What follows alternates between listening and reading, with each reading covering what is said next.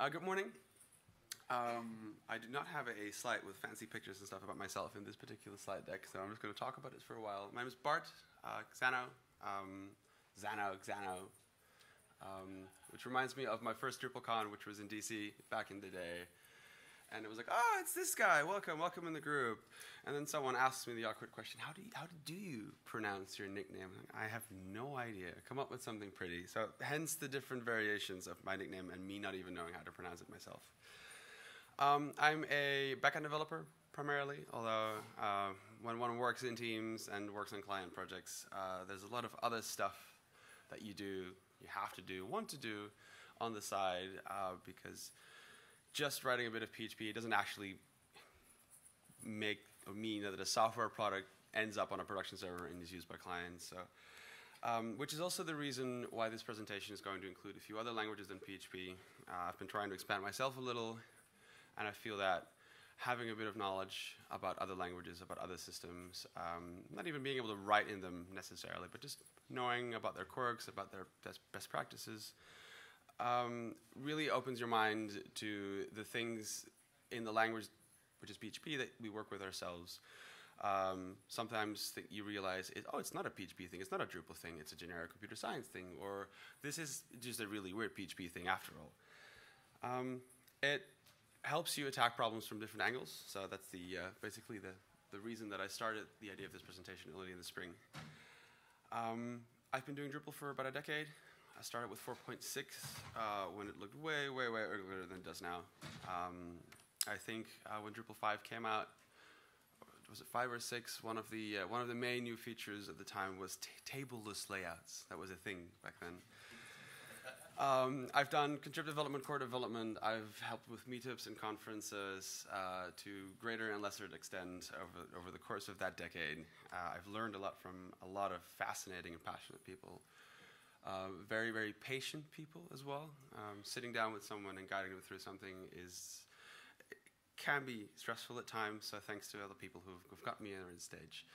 Um, which brings me to the mentors here this week. Uh, we've got a mentor program at DrupalCon, um, which practically speaking means that my slides don't work. literally, the light has gone out. Is that? No, it is actually. Did you try turning it off and on again? I was hoping to keep this joke for the rest, for like later in the presentation, but I am honestly not sure what's going on right now.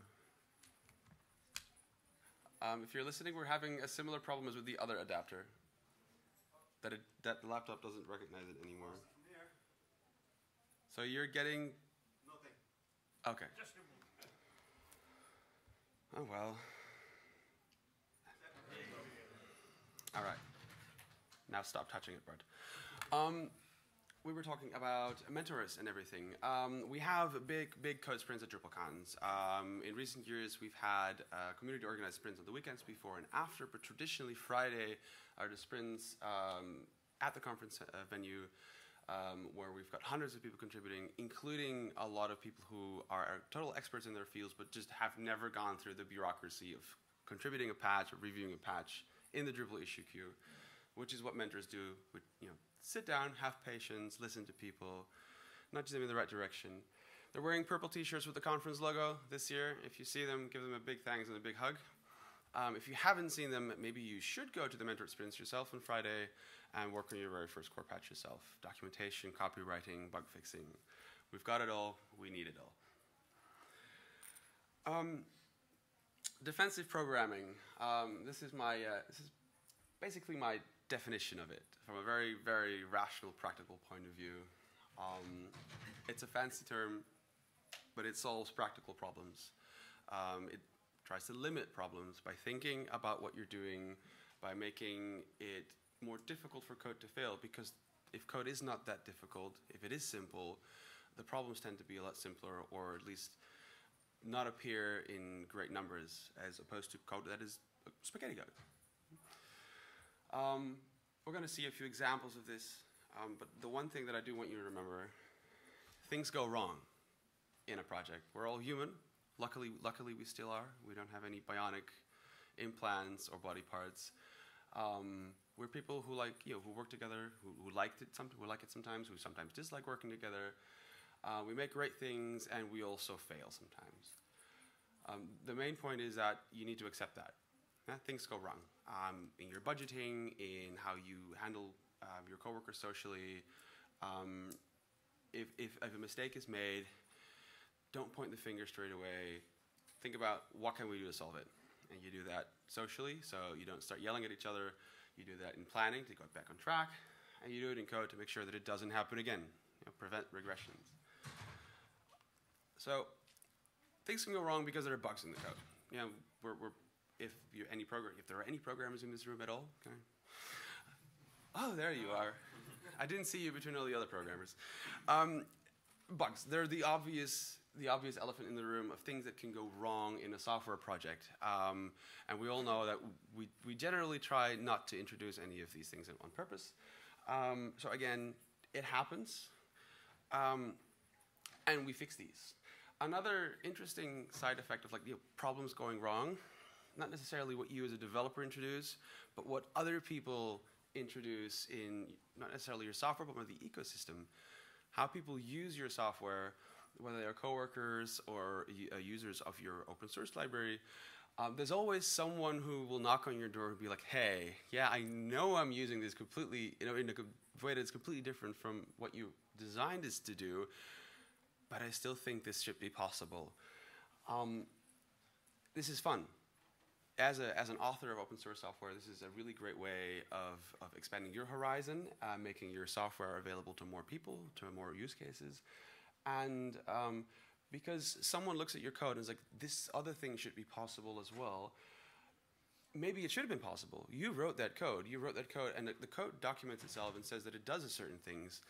Um, if someone's like, oh, maybe my use case, it's not in the README, but if I read the code, I think it should be supported um, go along with this. Um, fix the bugs that have been reported. Um, and even if you don't want to fix them, and we'll get to that a little later, um, why is this person reporting these bugs or lack of usefulness in the first place? Was it a lack of documentation on your end? Like, if you really don't want to or can't support it, maybe you should have documented that. Um, if there was some kind of a weird error, you can tell that person, you didn't use this function the right way. Well, it should have thrown an exception.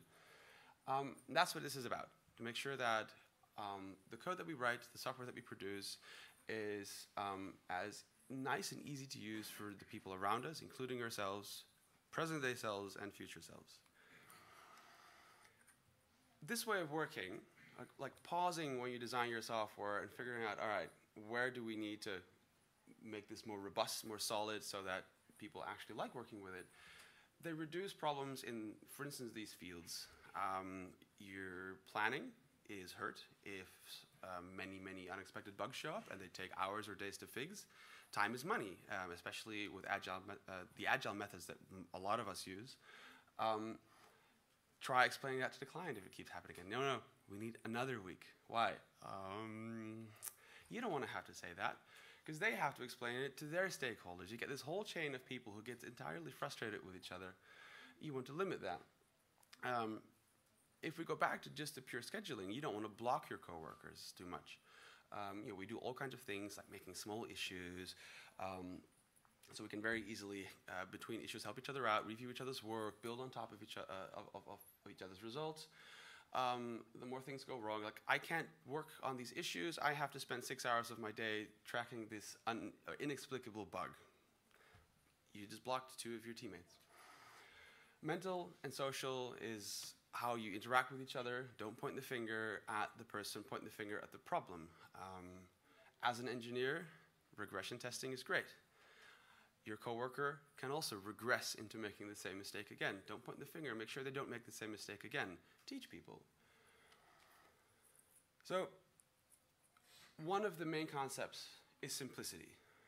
The less your software does, the less that can go wrong. That's generally um, how it works, with some notable and exotic exceptions, of course. Keep things simple. Input, output. Don't take too many different things. Don't output too many different things.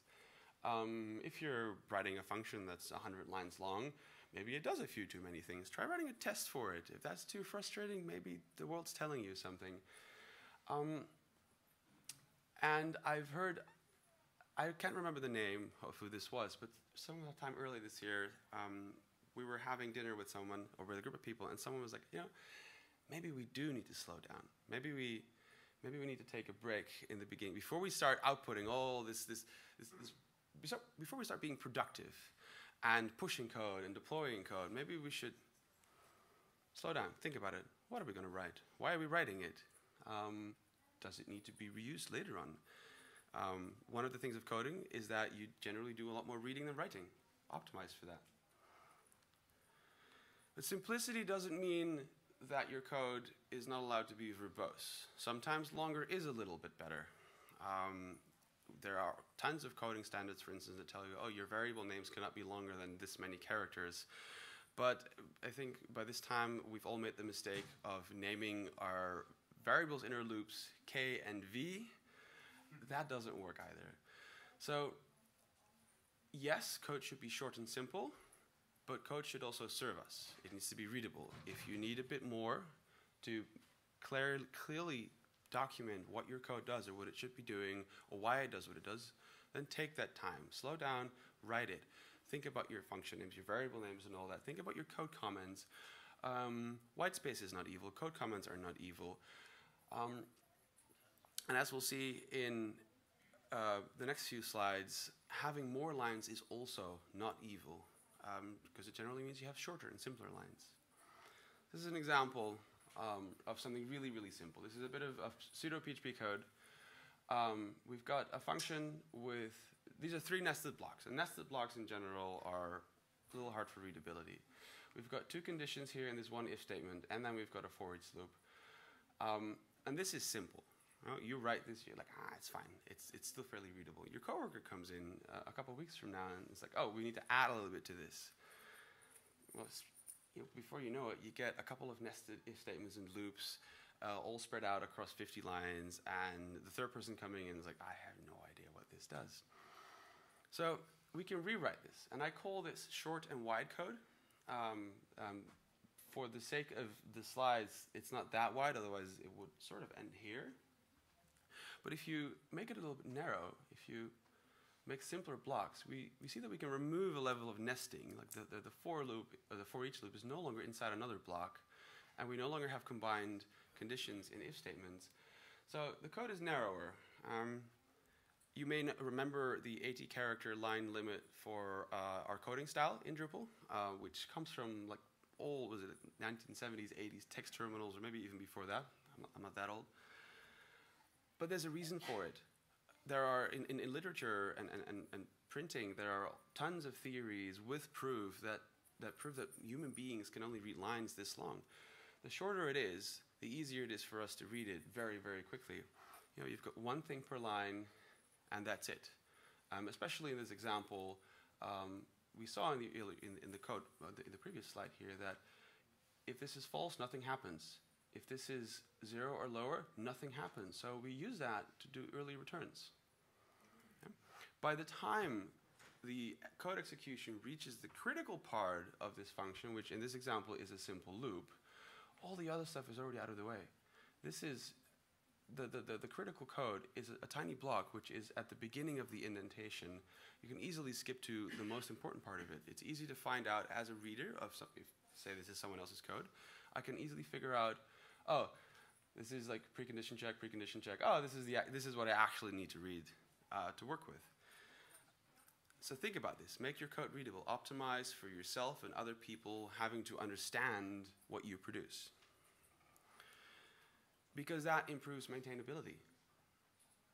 Yeah. Um, maintainability is basically a combination of the cost involved in getting involved in code. Um, even like we work for Druid, uh, we have multiple different teams. It happens that people from another team, or like the maintenance team, come in on a project from a, a development team after it was launched, and they have to work with something they've never seen before. Same company, same people, a lot of the same workflows, but still you're reading someone else's code. Yeah, we could walk to each other's desk, we could set up a conference call or go on Slack, still you're reading someone else's code. So as close as you still are, there's still a lot of profit to be made here. So make it easy. Make it easy for yourself as well. I've there's a there's a very notable example in my head of a couple of years ago, um, where I uh, I was working on one of my contributed modules. I'm like, I know I wrote this code, but geez, what was I thinking? This is so overly complex. Um, it's really nice. It's a few lines, but it's just like too much crammed into into these few little blocks. Um, and this is just an overly complex solution. And I started reworking it for about an hour and a half, and then um, this was before um, I was convinced of the, you know, the, the, the, gospel of automated testing. And I tested, and it breaks down fires and dragons and volcanoes. And I realized that there was a very, very good reason that I had originally written that code like that, but it was never, I never published that code in such a way that future me or future anyone would be able to read and understand the intention behind that code. So the maintainability of that particular block of code was terrible. I wasted an hour and a half on nothing. I, I, you know, I could throw it out. That's the only thing that happened. An hour and a half of my life thrown away, except for the fact that I learned to document my stuff to make it readable. So reading and understanding and fixing code is really important, not just the production of new code, but working with existing stuff. And that goes from maintenance to fixing existing problems to even refactoring. A lot of us use Agile, which inherently means that sometimes you do need to refactor because you don't plan too much ahead. That comes at the cost of having to refactor. You can't refactor if you can't if you don't know what's already going on to optimize for these situations in your code. Generally means sit down, slow down, plan what you're going to do. How can we build what we're trying to build in as simple a way as possible that's as easy and to understand? And it, like I said, that does mean that it's allowed to have more code if that makes the rest of our work simpler. Um, especially with the migration from Drupal uh, 7 to 8 uh, using PSR4, so one class per file, we've gotten a lot of boilerplate. Every file had to have an at file doc block, not anymore, but used to. A class with its own doc block, um, implement an interface. Um, a lot of people thought that was that was really annoying in the beginning, and there's a lot of code to write. And if you have an IDE, it can take a, a lot of this work for you. But again, it's not that much logical code. If any of that code goes wrong, you fix it once and generally doesn't break again. It's about the logical code, um, the, but that's most important. Like in this example, the for loop. This is the most most important code. Keep that simple. When things do go wrong, you get an error or you get an exception or whatever name your language uses. It, it tries to notify you of a situation that shouldn't really have happened. Again, if there's a problem, it's about how you deal with it. So the problem occurs. You're like, ah, shit, now what? First step, where did it come from? What's it doing? Well, you can read the error message.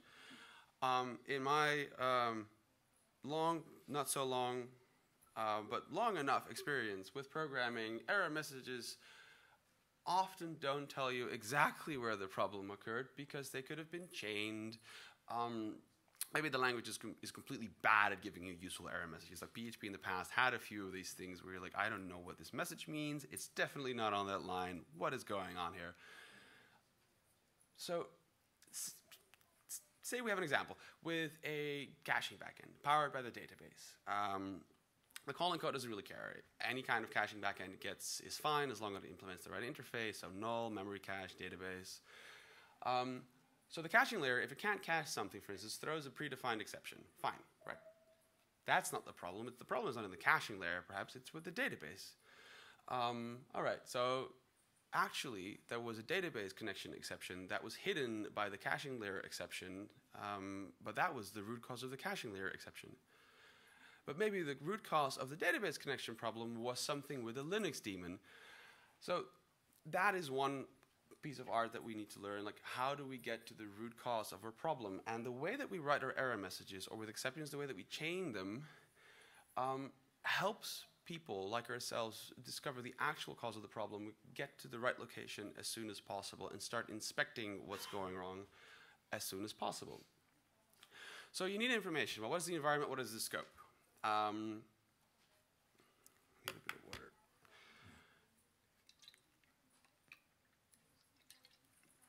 So did it happen in PHP or Python or Java, whatever you're writing in? Did it happen in a, a piece of software that you're integrating with? Um, which part of the software did it come from? And like I said, exceptions can be chained. One exception can be caught, a new one can be thrown with a reference to the old one, indicating like, all right, there's a new problem, but it is caused by the old problem. PHP is not always very good at displaying that. Python is excellent. Like if something goes wrong, if you, you look at the CLI output, you see exception, exception, exception, exception, latest call first, something like that. So you know exactly in which order um, the problem started occurring, you know um, what consequences had. You can see exactly what the root cause was, but because you see all the following exceptions, you know exactly how big the problem is in your application and what the impact is and which other systems are broken because of this root problem. Um, so we said chaining.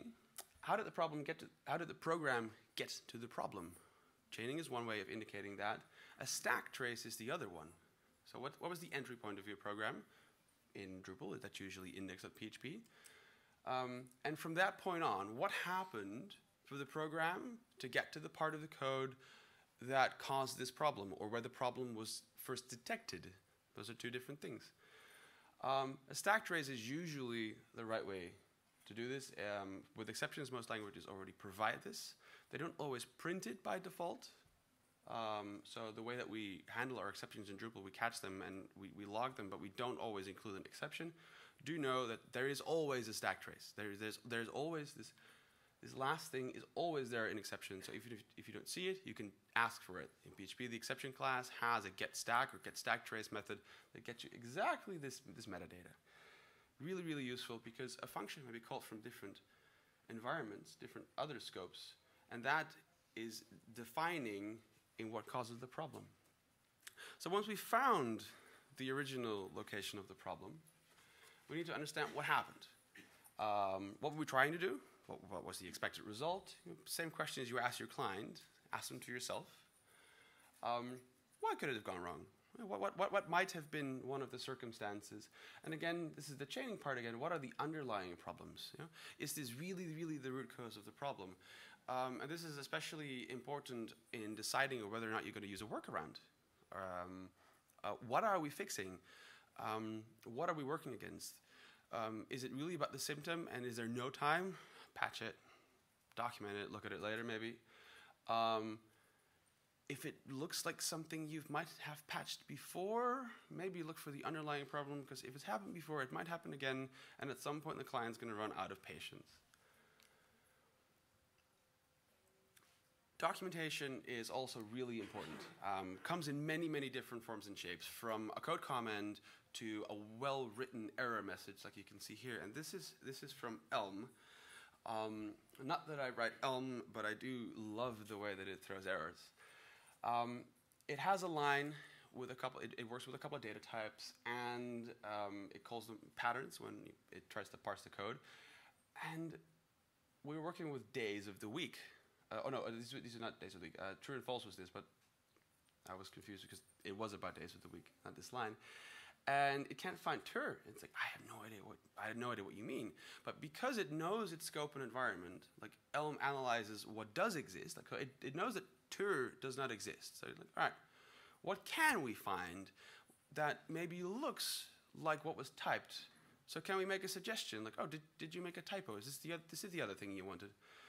it knows that we have a type true. And it suggests that. Um, if you're interested in this, look it up. Elm is extremely good at, at, at, giving long, verbose error messages, including, and that's the most important part, the suggestion of where to look in solve, you have to solve the problem.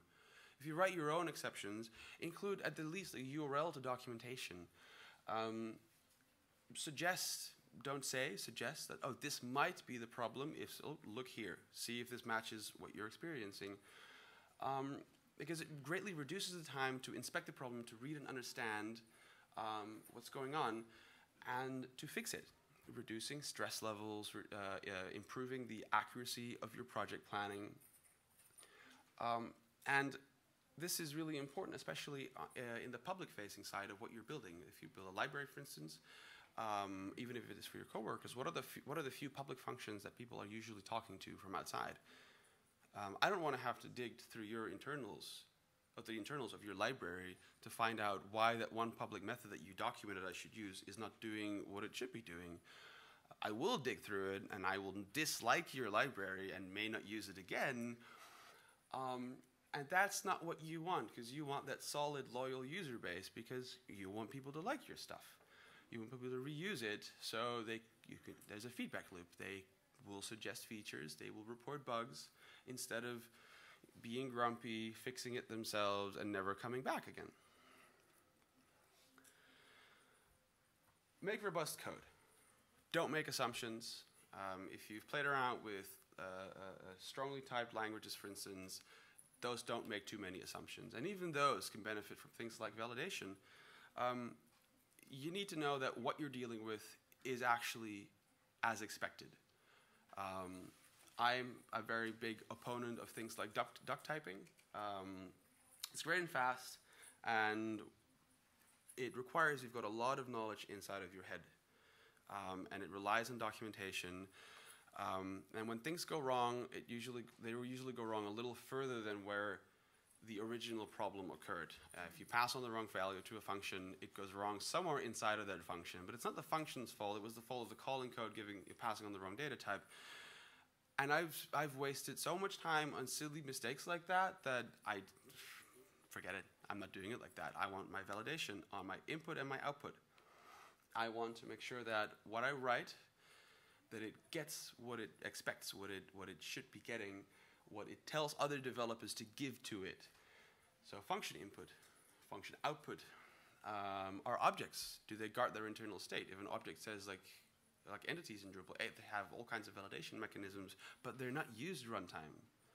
So we have entity validation in Drupal 8 core, but an entity at any given time can be in a completely invalid state. We, in practice, I think we only use it for form validation, which is really useful in most cases. But say you do a mass import and you forgot this tiny little you know, processing thing or mapping thing to your entity type, you will never know things, until things go wrong um, when you actually test them, which might be after the launch to production. Different kinds of systems appear in different kinds of levels, from a low-level function to a whole network of, of applications and machines. Um, when something comes from outside or goes outside, you should try and validate it. You, it, it, needs to be simple, um, match constraints, and we usually do that with form input. Um, but web service responses are also really important. If you give me, if you have a nice web service, you document, you've got a nice page that says it's got these fields, it should have that, it should have that data. That's great, but my software doesn't read your documentation page. My software does validate your response using your, your schema file and can then decide whether or not it, it validates and whether it wants to process it.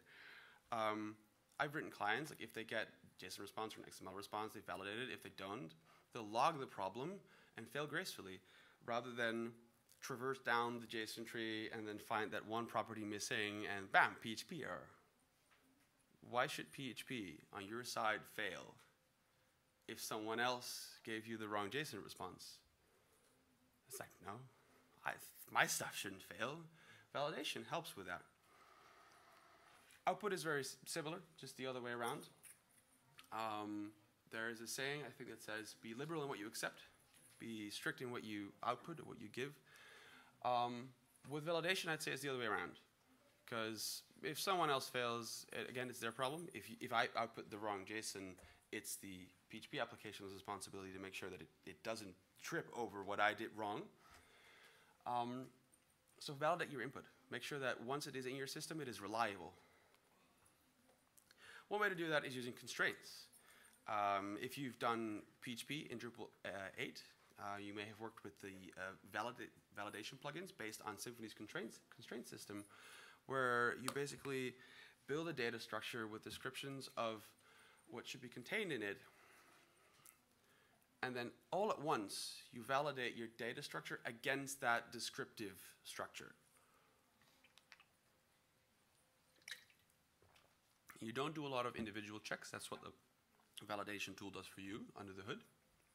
You just build your outline, your, your spec sheet basically, and you match it against what you actually have. Um, and a static schema like a JSON, uh, uh, yeah, JSON schema or uh, XML, was it uh, XSD or Relax NG? They're all static schemas.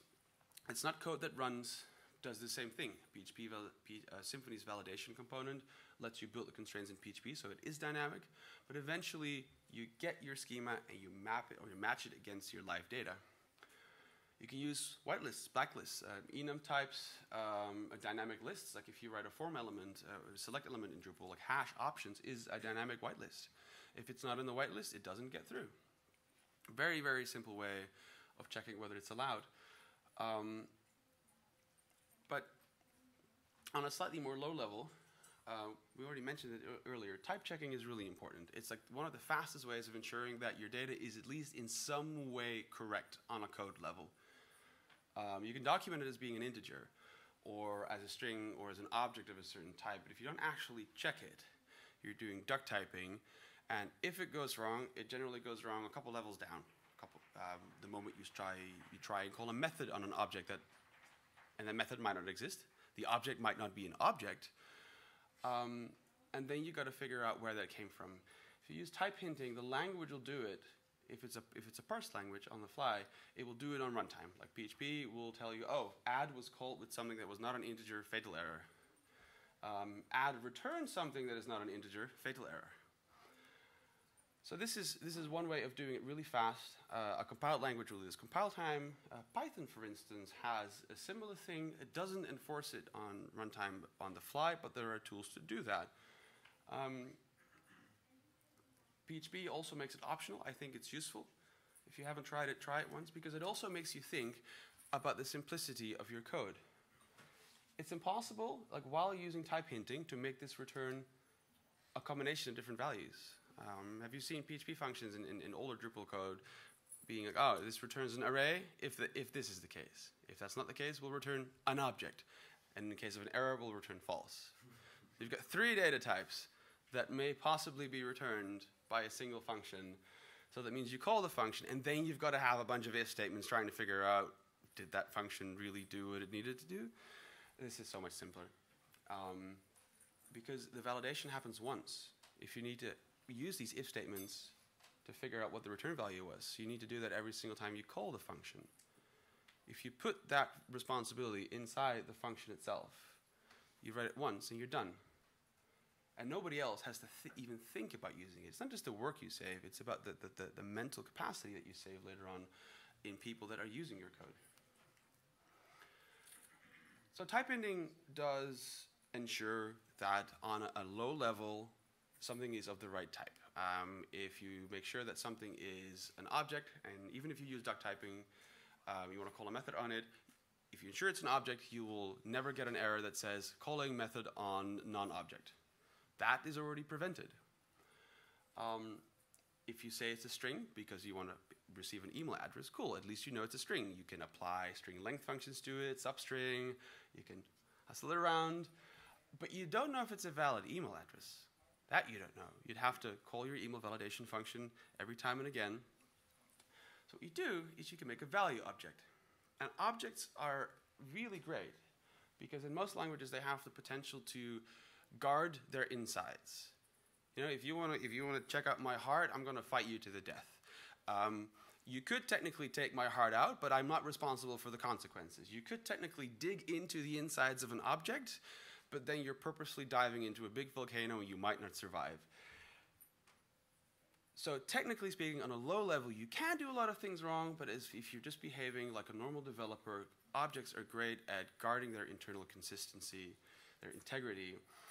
So if you create an object, for instance, for an email address, this is a little Python example. This is a constructor which takes an email address. It validates it. And if it doesn't validate, it raises an exception. If you raise an exception in an object or in a class's constructor, that means the object that you were trying to instantiate is never actually instantiated in the first place. So you get your exception, the, the instantiation phase is broken off, which means in case of an error, you will not ever have an object. If there were no errors, then you will have an object, and then you'll know it contains it, it, it, guards its own integrity. You will know that it's always it always contains a valid email address. And if you make the property private, um, which in Python I should have done using a little underscore here, and in PHP you can actually mark um, your property as private, so they can't access it from outside unless you, you, you, you gut the class, you take out its internals, and you start messing around with it. Uh, but runtime, you don't do that. Um, so you know that if you get an email address object from somewhere, you know that it's always going to be valid. It's always going to have an at sign. It's always going to be domain at the, at the very end.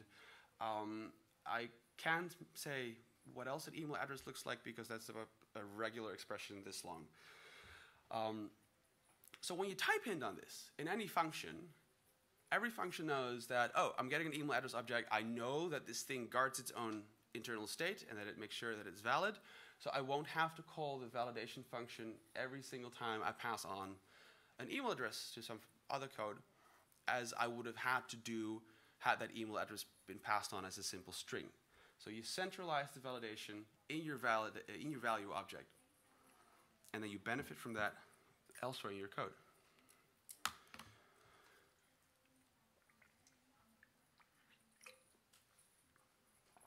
Who hates these? Who hates exceptions? Who, who has a terrible, terrible experience with exceptions? All right, we need to help you guys. Because they're, they're amazing. Because if something goes wrong that seriously impacts your software, don't you want to know straight away rather than after deploying to production? Exceptions are the most in your face error handling you can have in most languages. They are thrown immediately, they bubble up the stack. Um, they're in your face, they have stack traces, um, information about which line and file they come from. Um, they can have messages. They're objects, so for specific error situations, they can be extended with all kinds of properties and, and other metadata that help you inspect the problem. I find them wonderful. They're annoying when you have to fix them, but on their own, they try to be helpful. So an exception is really another fancy word for an error that is fatal. Um, don't think about recoverable fatal errors in PHP. That's an identity crisis thing these are actually fatal. This is, if, an, if a system throws an exception, it is a system telling you, like, I give up. There's something's happened that I just, I'll be back after the weekend. However, we mentioned the call stack. You know? this, an, an exception might be thrown in a function called from another function. So what happens is the last function to be called throws the exception, gives up, and then the exception passes through the function that was originally calling the code that threw the exception. That function might be like, oh, wait a minute, wait a minute, I know how to deal with this problem. Cool. So you're in a different scope, you're in a different function, and in that scope, the problem no longer is fatal. If we go back to the example of the caching backend we had earlier, the caching system, by kind of by its nature, a caching system is kind of like whatever. If it's not there, it's not there. That's what a cache is for. Like it's it's nice to have, but your system will run fine with no cache or with a badly working cache. Badly working cache. Okay, I should not. I should not have said that. Um, but if a cache pretends to save something, to cache something, and it doesn't, it's like, nah, nah, nah, nah, nah. Your system does not care. Because the next time it's like, cache do you have? Is like, no. All right, I'll build it from scratch. It'll be a little slower, but it'll still work. So if you have a database cache backend, and MySQL is like, I'm not here, bye, I'm having coffee, database connection, er uh, error, exception, fatal handler, whatever, and your database cache backend class is like, that's not a problem. The calling code doesn't care. We'll just log this problem so a developer can look at the database connection, but from a caching point of view, it's like, if we can't cache it, that's not a, that's not a big deal. So in the caching sense, a missing database connection is not fatal. So it bubbled up the scope, and then it was caught. We'll see two slides from now what that's going to do. So this is how you raise or throw an exception. In most languages, it's just uh, uh, an object that inherits from a standard exception class, so it has things like an error code message and a stack trace. But you can subclass it whichever way you want. Um, and that's how you do it in PHP and in Python. Um, a bad function call exception can indicate something like, oh, uh, arguments weren't really good. Um, and a bad method call exception is just because it's a specific kind of function. Otherwise, it's the same. And in Python, a Unicode error is a kind of a value error. Uh, a value error in Python is like invalid argument exception. Um, but the cool thing is that here we can see that when we catch exceptions, which is to handle them, we can type hint on the individual exception classes. So the reason we would subclass exceptions is so we can handle the individual ones when we see fit. If we all use the same top level exception class whenever something goes wrong, it is impossible for another piece of code to distinguish one error from another and to say that it can handle some of them but not all of them. The moment we use these custom class names, and it might just be for the class name. We might not want to add any metadata to these subclasses. We might just, just want to use it to indicate an individual problem, but then we can handle this. So in the caching layer, the database cache backend, it will only cache an exception that relates to the database connection. Because everything else, it doesn't know how to handle. It doesn't pretend that it, it's not fatal. So if it doesn't catch it, it bubbles up further down the call stack, all the way to where your code started working, all the way to in Drupal index.php. What happens then? It's a fatal uncaught exception error. Like we saw in the code, you have a try catch block. This is, this is where the code goes that tries to perform the potentially fatal uh, tasks. And you can have one or more of these catch or except blocks after that for handling individual problems. But when problems can't be handled, when, so when they remain fatal, um, that one, it goes all the way up to the top. And if at the top there's also no catch block or no, no handle block, the whole application stops working. Your PHP or Python parser doesn't crash. It's just like, oh, the program apparently said still, like even if it bubbles up, that means that the, the top part of the program sanctions the fact that there is an unrecoverable fatal error. It's like, there's nothing else to do but to terminate the program and fail nicely. It outputs, most languages output the error, mostly in a very ugly way, which is why Drupal 8 out of the box gets you a nice white page with a, the website encountered an unexpected error.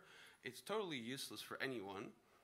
For there's one positive point about it, it doesn't tell a potentially important visitor of your software what exactly went wrong internally. That's why you get this cryptic error message. That's why we have this top level catch block of like any exception, if it reaches this, yes, we'll terminate, but we'll make sure that we don't expose any of the internal information.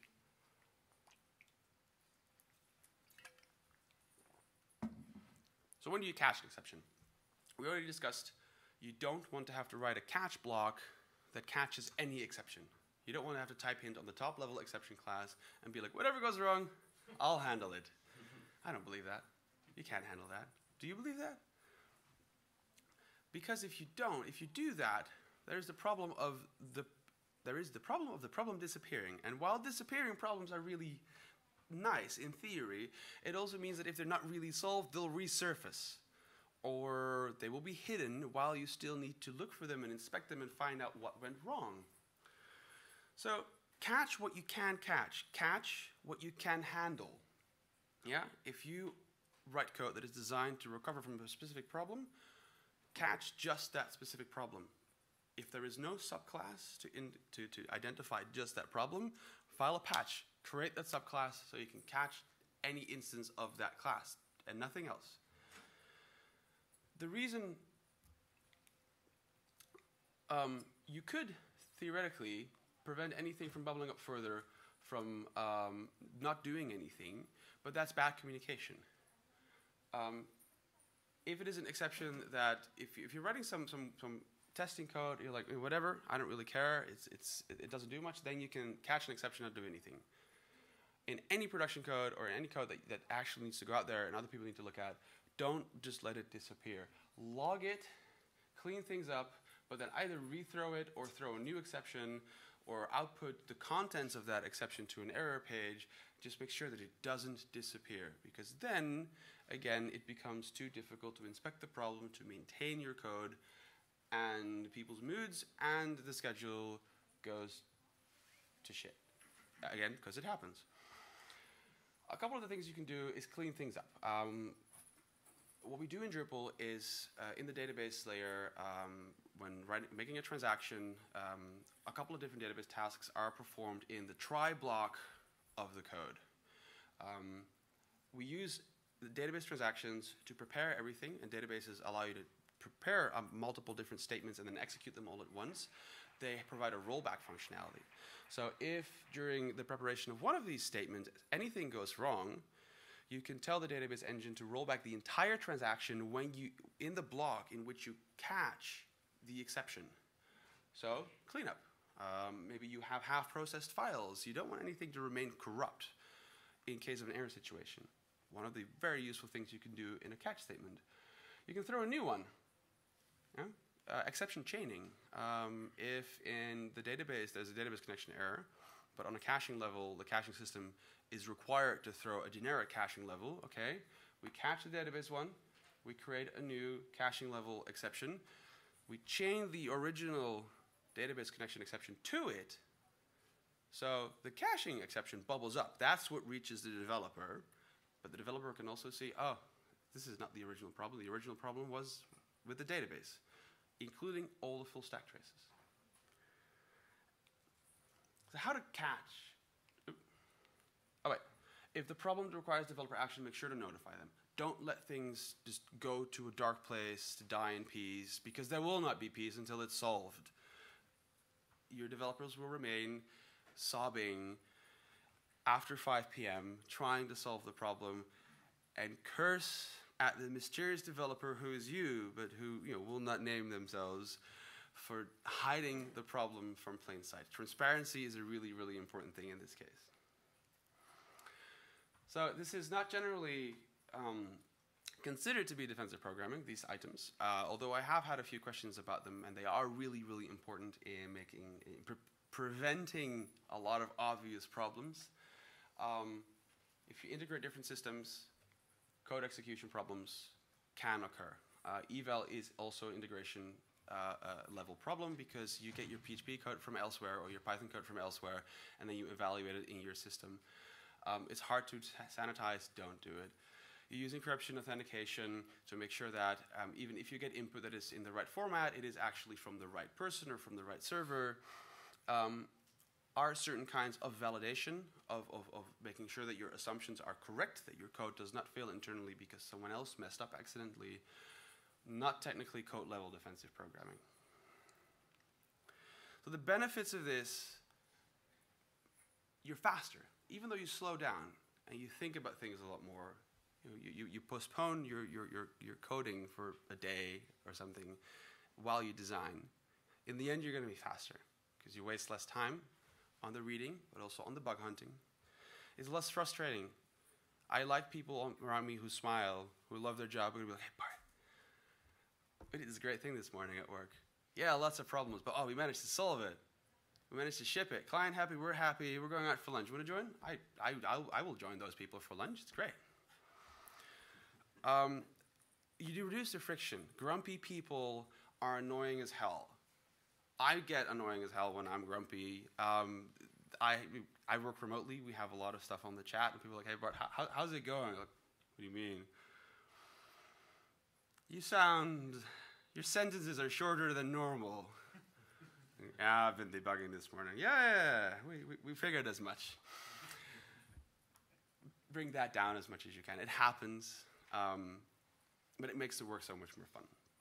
Um, and especially because you work um, not just with a chain of exceptions, but also with a chain of people who depend on each other. Uh, you've got your development teams who uh, depend on uh, non-team member experts, like you need a designer on the team for a week, then you need uh, uh, your server DevOps person on the team for a week, uh, and then it goes to the clients and the stakeholders, there might be user testing involved. There's such a long chain.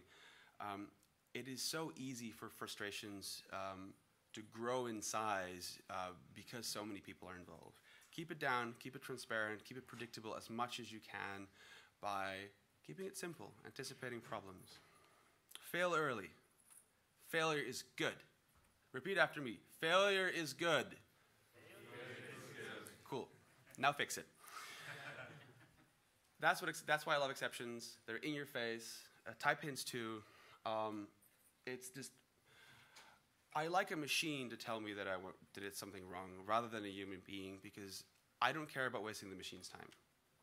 Yeah, if um, if I can find some of the problems before I even push something to the repository, before I even create my PR, that's great. Saves a lot of their time. They won't have to look at it. It's annoying. You know, when you review someone else's code, it's distracting. If all these little things are off, you're distracted by that, and you're not looking at the logical code that you actually need to review. It's really annoying. If you can, if you can find these things early, have automated tools lo- locally for code, coding standards, static analysis, unit tests, um, because unit tests also run your code. They don't actually verify the behavior; they also run it, so you know that your type hints are correct, etc.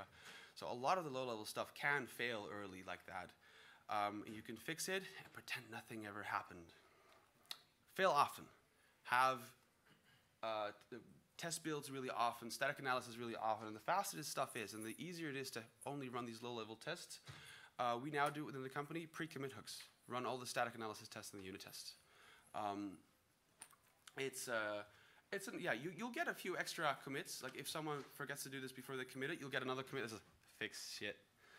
Um, coding standards. ah.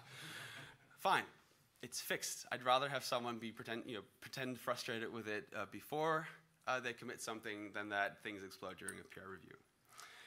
Harden your entry points. Whenever it comes into your system, that's an entry point. Index.php is an entry point. Uh, a, a, CLI command could be an entry point. Um, your, a client that you're writing to consume a web service is an entry point. Um, but also when you write a library and you publish it, like, uh, and you document it, you read me, like, oh, you will likely have to use only these three functions out of the, I don't know, 100 that we have.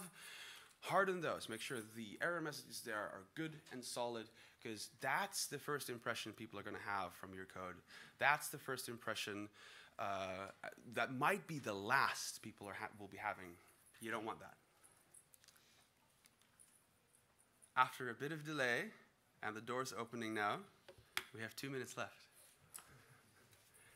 Do you have any questions? It was super clear.